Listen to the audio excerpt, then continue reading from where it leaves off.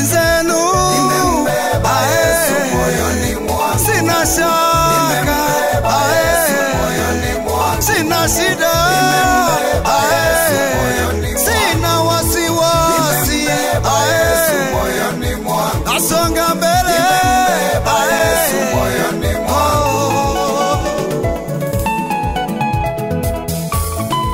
ina mwangu nina amani, mana nimefukuza wapangaji. Maishani mwangu nina furaha mimi, mana nimempokea huyu Yesu. Amebadilisha maisha yangu, amenifanya kiumbe kipya, ameondoa lana ndani yangu amenifanya mwana wa pendo lake, simwachi kamwe.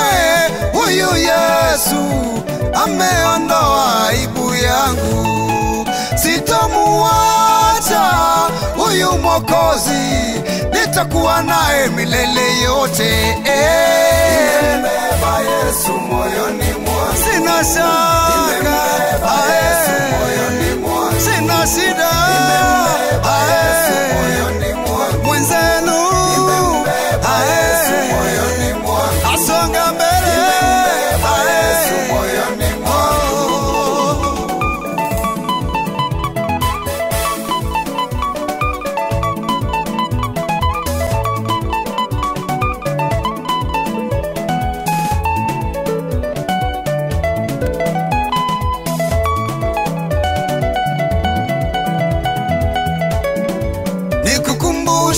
kwa mnyama punda.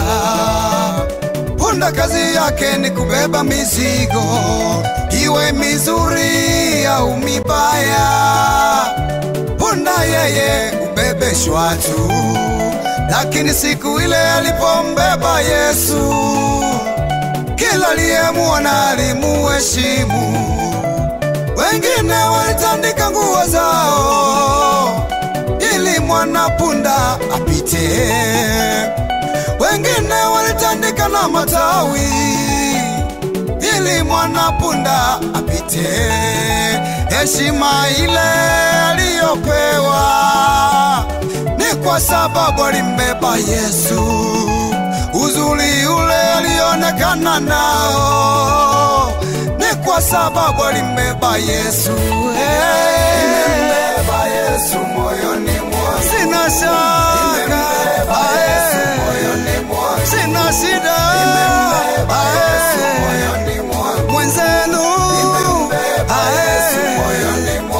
mwangu.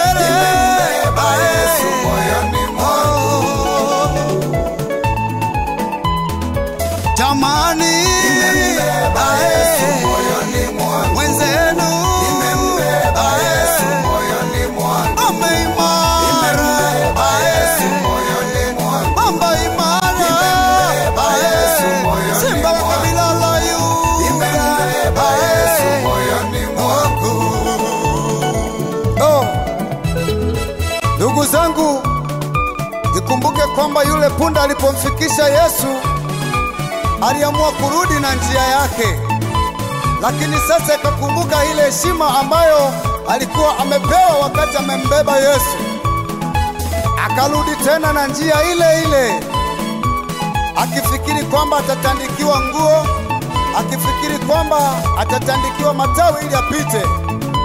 Alisahau kwamba alifanyiwa vile kwa sababu alimbeba Yesu. Kilichotokea ni kichuko.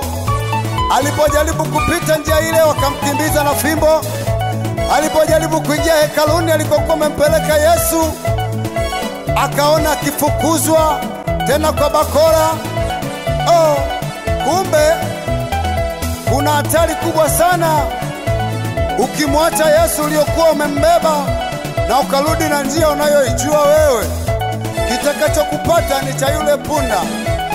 Utabeba aibu, utapigwa, utadhalaulika, utatukanwa. Unaheri wewe uliyemshikilia Yesu huyu ambaye tunamsifu leo. Ukitaka dharau maishani mwako, mwacha Yesu uliyembeba mwanzo. Ukitaka fedha maishani mwako, Yesu uliyembeba mwanzo. Utabeba aibu, lana na mikosi, waliokuheshimu mwanzo watakudharau. Nami nakusihi usimwache Yesu, yasije yakakukutaya yule punda. Nimembeba Yesu moyoni mwangu. mamba imara,